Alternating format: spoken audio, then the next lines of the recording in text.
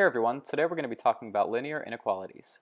Before we proceed, the only thing that you'll need to know going into this video is how to solve a linear equation, and you'll need to be familiar with interval notation.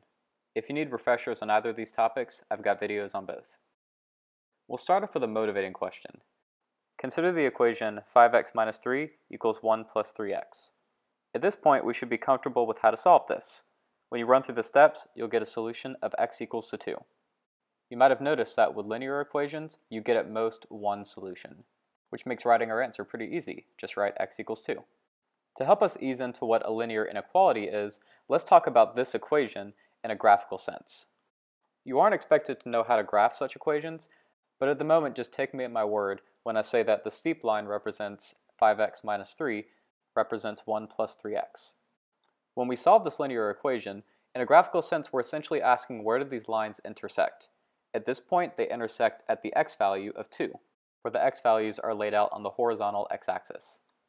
Again, if you don't know how to draw this, that's totally okay. This is just a visual representation of what we're getting, or what it means for two linear equations to equal each other. It means that the lines that they graph into cross.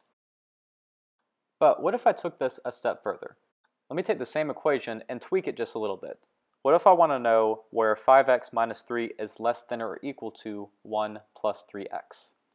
So what I'm looking for are the values of x that make the left-hand side less than or equal to the right-hand side. I'll pull up our same drawing. Since I'm solving for x, everything is in terms of the x-axis here. So what I'm looking for is what portion of the number line, or the x-axis rather, is 5x minus 3 less than or equal to 1 plus 3x. This means I'm asking for where does the line 1 plus 3x sit above 5x minus 3 in this picture? If I shade it in, you'll notice that it's going to be the left half of the x-axis. Notice that my vertical purple line starts at where the two graphs intersect. And we know from the previous slide that these graphs intersect at the x value, x equals 2. And if I proceed further, I can actually solve this linear inequality using the exact same methods I would use as if I was solving a linear equation. The inequality sign is preserved throughout, so I end up with a solution of x less than or equal to 2. And this seems to agree with my picture. It looks like the region of the x-axis that shows 5x minus 3 being less than or equal to 1 plus 3x is actually the portion of all numbers on the x-axis that are less than or equal to negative 2. I'll go ahead and shade it in here. So it's this area of the x-axis that I care about.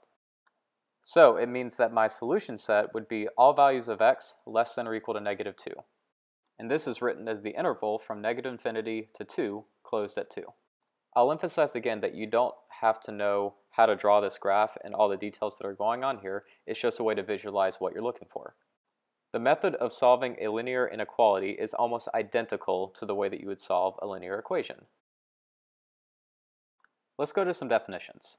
A linear inequality is a relation between two expressions where either expression is at most linear. And by at most linear, I mean it's a statement that's either a polynomial of degree 1 or a number. So as long as you have an inequality that involves x's that are only raised to powers of 1, you've got yourself a linear inequality. Those expressions can look like this. ax plus b less than or equal to cx plus d, or ax plus d is strictly less than cx plus d and all of these, a, b, c, and d, are just real numbers.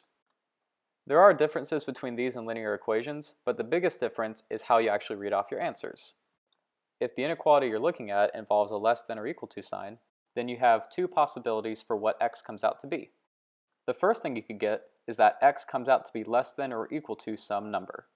If that is your case, you would draw it this way on the number line where your arrow is pointing towards negative infinity, and you would get the interval negative infinity to the number that you found with a square bracket around that number. We're using a square bracket because this inequality is less than or equal to.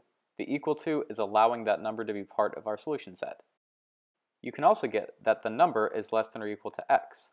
When this happens, your number line is drawn this way, and you would get this interval, from the number to infinity, where my square bracket is sitting around that number. Again, because my inequality involves a less than or equal to sign. So if ever you have a less than or equal to sign, then your solution set is going to be closed at that end. Now if I strictly have a less than sign, my answers look very similar, although I'm going to have open parentheses around the numbers that I find instead of closed square brackets.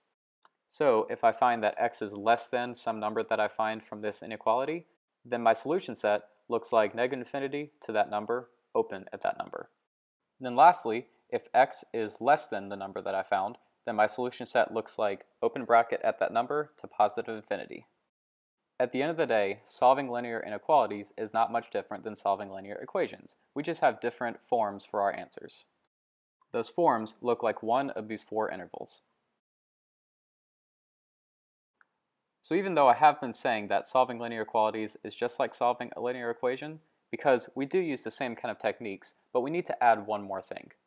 Whenever we are multiplying or dividing both sides of our inequalities by a negative number, then the inequality will be flipped. Now we're ready to look at some examples.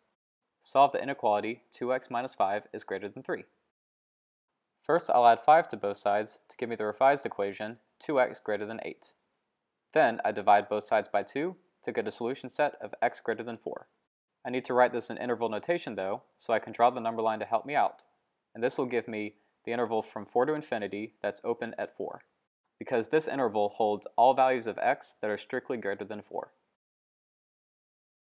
For our next example, solve x is greater than or equal to 2x plus 1. First thing I'll do is subtract 2x from both sides to give me negative x is greater than or equal to 1. If this were a linear equation, I would multiply both sides by negative 1, which I can still do. But when I do that, remember that I have to flip my inequality. Once I flip it, I get a solution set of x is less than or equal to negative 1. Now when I draw this on my number line, it looks something like this, and then I get the interval from negative infinity to negative 1 closed at 1 because my inequality is a less than or equal to. So both of these expressions use the same techniques as with a linear equation, I just have this extra step of flipping my inequality should I multiply or divide by a negative number. Again, you only have to do this with multiplication or division, so if I add or subtract negative numbers, then I don't have to flip. For our last example, Look at the inequality, 1 minus x over 2 is greater than 3x plus 2. The first thing I'll do is subtract both sides by 1 to give me the revised equation minus x over 2 greater than 3x plus 1. And then I'll multiply both sides by negative 2, which will in turn flip my inequality to give me x is less than negative 2 times 3x plus 1, which simplifies to negative 6x minus 2. Then I will add 6x to both sides to get 7x is less than negative 2, and then once I divide both sides by positive 7, I get x is less than negative 2 over 7.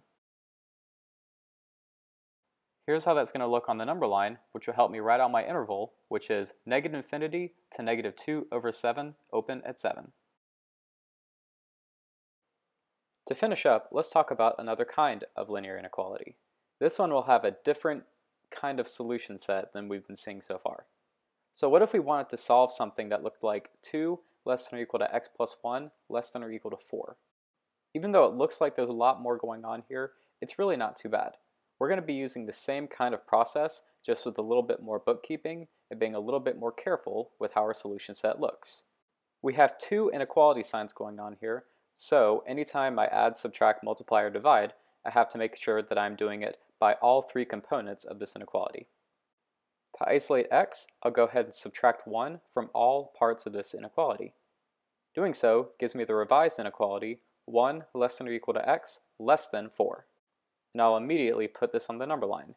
My endpoints 1 and 4 will go on the number line, and then I make the observation that this inequality is telling me that x sits between 1 and 4. So I can draw on the number line like this with a filled in circle over 1 and open circle around 4, which gives me the interval that is closed at 1 and open at 4 is my final answer. So if ever you see an inequality like this, just make sure that you're taking care of each operation on every part of the inequality, and be careful about writing your solution set. That's why number lines are very good because they help you visualize what you're writing.